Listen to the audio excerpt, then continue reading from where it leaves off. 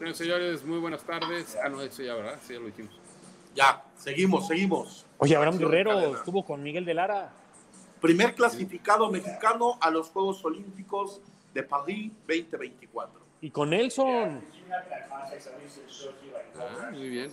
De la gran federación. Oye, pero qué bien la Federación de Natación. Entonces, felicidades a Kirill, el primer este nadador mexicano que va a los Juegos Olímpicos. Es de su federación, la que está amañada, no reconocida, que está con los actos de corrupción gigantescos y tiene que salir un empresario a apoyar este tipo de deportistas porque la federación creo que ni sabía que iba a clasificar, pero bueno.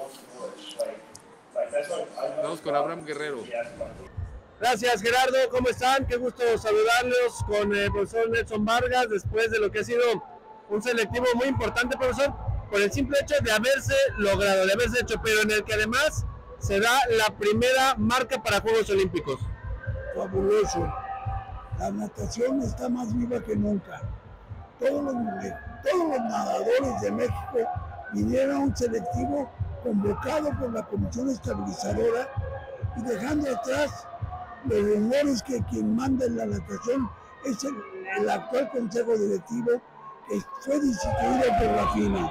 Yo creo que lo que estamos viviendo en Monterrey, con el apoyo del gobierno del Estado, del gobernador, del secretario de gobierno, es maravilloso poder hacer aquí este selectivo. Lo más importante, Gerardo, ya tenemos una selección, 24 nadadores seleccionados para Juegos Centroamericanos. Se rumora que ninguno de estos nadadores tendrán apoyo para ir a los Juegos. Sería algo vamos a parar. Si no hay apoyo del gobierno a través de la CONADE, veremos de dónde sacamos el dinero para enviarlos a los Juegos Centroamericanos. Porque este grupo se ha roto el alma con tal de buscar su- su sele- ser seleccionado para los Juegos Centroamericanos, Panamericanos y Mundial. Y bueno, ¿qué te puedo decir? Miguel de Lara, marca para Juegos Olímpicos.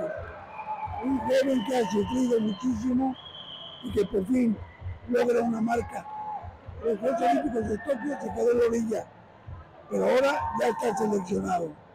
Y justo, profesor, pues vamos a escuchar qué fue lo que dijo el propio Miguel de Lara eh, al final de, de su prueba de esos 200 metros pecho en los que da la marca A para ir a París 2024. Vamos a escucharlo y regresamos.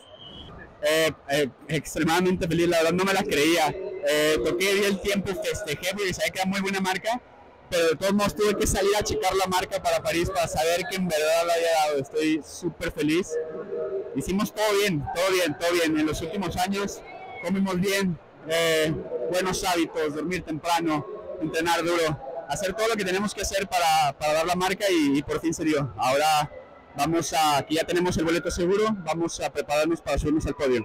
Han sido altos y bajos durante toda mi carrera, eh, una carrera más larga de lo que suele ser para la, para la mayoría, tengo 28 años, eh, hice dos ciclos olímpicos en las que me quedé a nada de conseguir la marca, conseguir el pase, eh, que por fin se diera, eh, solo marca que, que el trabajo duro eventualmente da sus frutos eh, y solo hay que tener paciencia y, y trabajar duro. Yo solo estaba concentrado en lo que quería era romper el 2.10, una, una barrera que ha estado en México y, y en mi cabeza desde hace mucho tiempo, el haber visto el 2.9 fue algo, este, sentí un alivio, sentí alivio saber que, que por fin había hecho el 2.10, después ver a Jorge Ia, mi compañero de entrenamiento, mi compañero de casa, este, hemos estado haciendo todo bien, eh, llegar y felicitarme allá al carril, sabía que había sucedido algo muy especial, eh, e- emocionado, emocionado.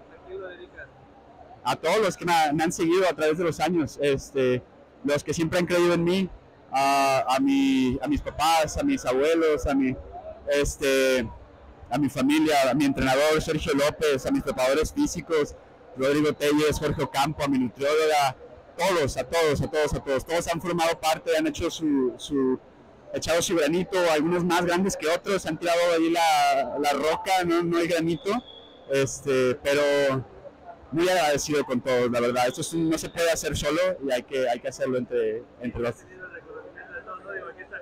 Claro, claro, vente, güey.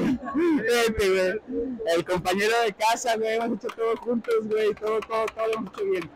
Él, él va a ser el próximo, definitivamente, definitivamente va a ser el próximo, no tengo duda, hemos estado haciendo todo bien ahí en la casa y, y estamos trabajando bien. No merece. ¿Qué decirle? ¿Qué decirle? Tiene una historia. ¿Qué decirle a tu amigo, a tu compañero? Y que se nos hagan lágrimas. Gracias, cabrón, gracias, gracias. Es muy emocionado Miguel, profesor. Usted lo conoce desde hace mucho tiempo, sabe lo que le ha costado, ¿no? Llegar a, a dar esa marca y ahora, como él mismo lo dice, a prepararse para seguir poniendo el nombre de México en alto. El joven está prendido realmente. Tuvo muchos problemas en Estados Unidos. Se, lo- se lograron solventarlos. Ya afortunadamente ya está de nuevo con su entrenador Sergio López, el que le hizo ganar una medalla de, bronce en los Juegos Panamericanos en Lima. Y ahora eh, está muy contento. Él y, y Jorge Higa, los dos, nadan con Sergio López. Esperemos que no se les ocurra no llevar a su entrenador a los Juegos Centroamericanos, porque de esas nos las gastamos siempre. Oye, ¿y cómo, cómo diría usted que, dice, la natación está más viva que nunca? ¿Cómo pondría usted a, a todos estos nadadores? ¿Cuál sería el mensaje para todos estos nadadores que se dieron cita aquí y que le dieron justamente eso, vida a la natación? Yo creo que es muy digno mencionar que este grupo de nadadores no espera las becas, no espera el dinero, no espera los viajes. Este grupo de nadadores, toda la natación mexicana, los que nadan, hombres y mujeres, no se esperaron a los apoyos. Creyeron en la World Aquatic, antes FINA, creyeron en la Comisión Estabilizadora, creyeron en el Comité Olímpico Mexicano y por eso están aquí, no por lo, las dádivas que les puedan dar. Bueno, pues eh, ya hay un eh, nadador mexicano clasificado a Juegos Olímpicos, ya está la selección para centroamericanos, panamericanos, campeonato mundial y demás eh, eventos internacionales en este ciclo olímpico. Profesor, muchas gracias por estar con nosotros en Reacción en Cadena. También tenemos ya seis seleccionados para el Campeonato del Mundo. Valdría la pena mencionarlos. También. José Matacoco, Miguel de Lara, Jorge Higa, Héctor Rubalcaba, eh, me van los otros dos nombres ahorita. Pero es un grupo de seis que la FINA invita pagando todo. Gracias, profesor. Gracias.